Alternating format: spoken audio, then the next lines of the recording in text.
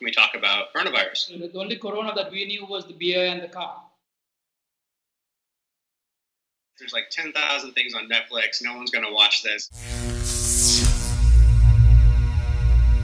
It will be a new and novel, never seen before virus, which means it has the potential for being very deadly. That's why there are researchers around the world committed to developing a universal vaccine.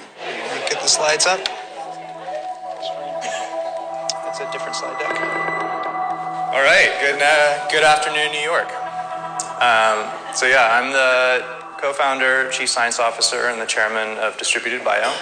At heart, what you can think of me as a, an immune hacker. Evolution is ding, ding, ding all the time. The problem with viruses is they're constantly mutating. That's the ding, ding, ding. Only this is ridiculous. We should write some software to automate this. People are getting excited because of CRISPR. I don't need another yacht. I need another 40 years. I don't believe in a god who resembles a human. Humans will unite around science because it's a common language and a common truth because we are living in a shared universe. Well, maybe you shouldn't make medicine. Maybe we should just let people die. There's too much population. Rich kids say that. You're a jerk. The healthier humanity of the future is going to be a closer humanity and a more productive humanity and a better set of peoples.